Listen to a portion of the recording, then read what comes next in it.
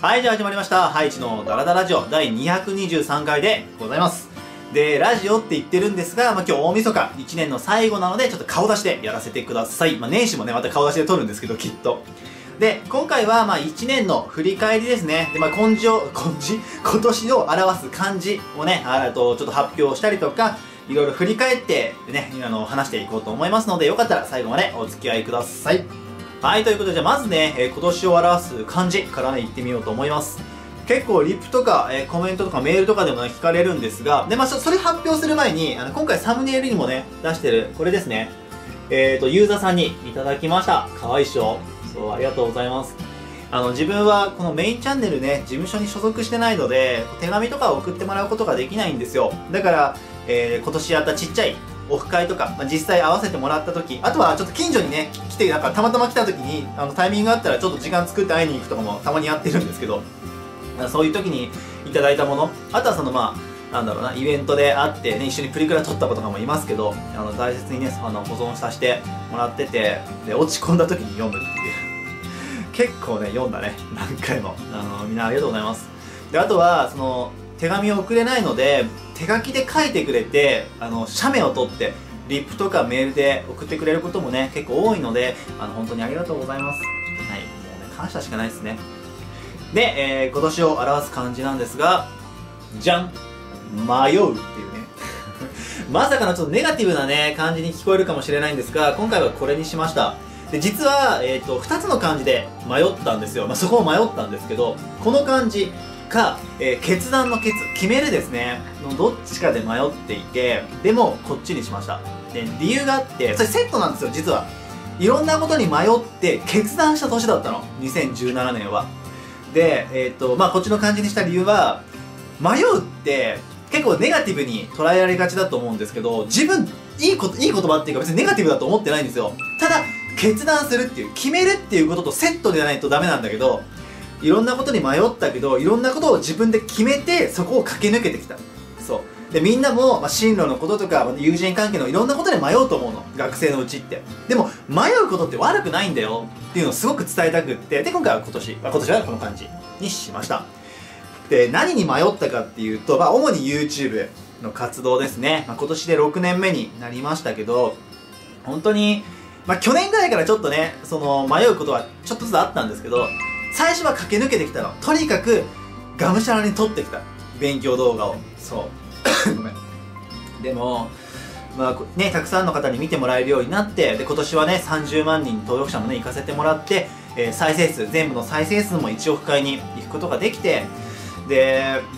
ね見てくれる方が増えれば増えるほど今自分がやってることはこれでいいのかっていうのを迷う。んですよ。で一応自分には、ま、YouTube のこともそうですけど夢というか目標があって達成したいミッションがあるんですね人生において。でそれを達成するために今自分はこれでいいのかなってやってることが。っていうのをねすごく迷いながらなんか手探りでいろいろやってきた感じだったんですね、まあ、もちろんリアルな仕事のことでもね迷ったことはありましたけどという感じ。そう。まあでもそれを自分で決めてもちろん決めたものが違ったなってこともあった。今年。ありましたけどでもそれも人生において勉強だと思ってるのね。うん。だからいつもいつも絶対正解の方には決めることはできないですけどやっぱり迷っていろんなことを考えてで自分で決めるっていう。決めてその自分が決めた道を信じて歩んでみる。で歩んだ先にはあの振り返った時に正解だったなってあ違ったなって思うことはあるけどそこから学ぶことはたくさんあると思ったので、まあ、今年はこの感じです。みんな迷っていいからね。ただし迷って決めて自分のね決めた道をしっかり信じて歩んでいってもらえたらと思います。はい。で、今年、まあ、振り返る感じなんですけど、まあ、そんなにね、大きなイベント特にないんでね、ざっくり言うと、まずは1月ですね、えっ、とまあ、知ってる方がね、えっといるかわかんないんですけど、昼帯っていう番組が、テレビ番組がありまして、ニュース番組なんですけど、で、昼の時間では多分結構視聴率がいいね、ニュース番組があって、でそこにね、えっと、家からの生中継で出させてもらいました。まあ、数年前からテレビはねちょっとちょこちょこ出させてもらってるので、まあ、そこそこ回数は、ね、出させてもらってるんですけどでも生放送初めてだったんですよ。そう。でめちゃくちゃ緊張しましたけどでもすごいね、あの、まあ、スタッフの方もすごく素敵な方だったし、リポーターの方もね、素敵な方だったし、あとは、スタジオの司会のめぐみさんと、こう、クロストークっていうのかな、こう、繋いで話をさせてもらったので、それは思い出深いね、すごく。うん。あと、今年はでもあと1回かな、それともう1回かな、2回テレビ出させてもらったと思うんですけど、まあ、それが思い出深い、まあ、1つ目ですね。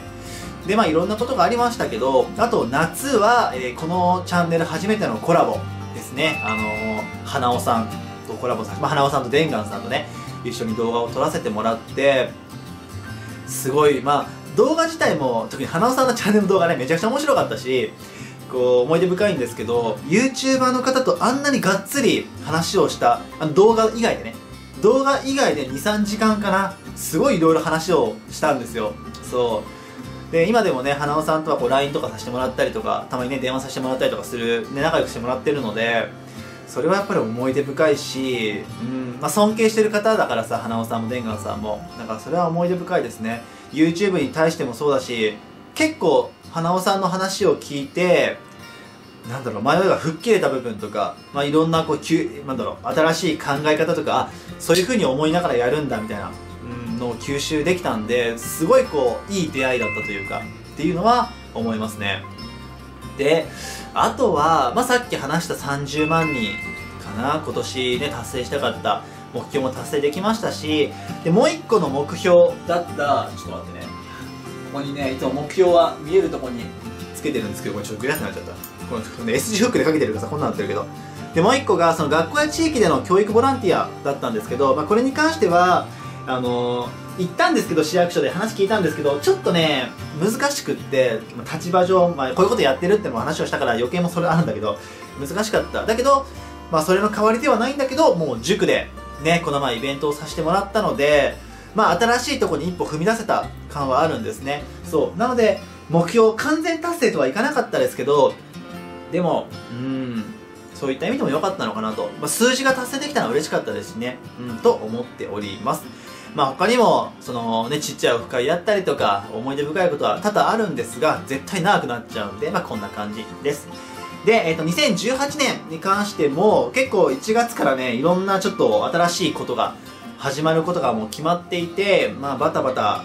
楽しくするような1年になりそうなんですけど、そこに関しては、えー、明日ですね、元旦、もしくは1月2日に、えっ、ー、と、2018年の目標を発表すると一緒にね、動画を撮ろうと思っておりますので、まあ、そこで話そうと思います。では、改めてになりますけど、2017年、本当に皆さんお世話になりました。あのー、正直、さっき迷うっていう話もありましたけど、自分の動画のね、質というか、その勉強内容に関してはまだまだ本当発展途上というか未熟な部分が多々あります。正直見返した時にこううわもう完璧だこの動画っていうのは撮れたことは一回もないです。勉強に関して。ただ、えーと、自分の中では80点80点以上のものであれば動画を投稿する。それに満た満たないんだったら、えーと、撮り直しをするっていうのがずっとルールで決めてやっていて。だからまあ80点85点とか、まあ、具体的な数字は分かんないですけど自分の感覚の中でこうみんなに見せても大丈夫なのっていうのをね、まあ、これからも撮り続けてできれば100点の動画を勉強動画を撮っていきたいですけどなかなかそれは難しいと思うのでただ100点を目指しながら、えーと、1人でも多くの、えーと、学生のみんなが見てくれて見てよかったって分かるようになったって得点上がったっていう風にねできるように教育でね学生子供たちを笑顔にするが自分のね、まあ、目標というか一個のテーマではあるので、えー、それをあの胸に胸に秘めてというかそれをね、まあ、ベクトル指針にしてこれからもね頑張っていきますのでどうぞ次年度来年もねよろしくお願いいたします。では今年度本当にありがとうございました。最後までご視聴いただきありがとうございました。今表示されている関連動画や再生リストの方から他の勉強動画とか、えー、テーマを決めて喋った動画に飛ぶことができますのでよかったらそちらも見てみてください。またチャンネル登録や高評価していただけると励みになりますのでそちらもぜひよろしくお願いいたします。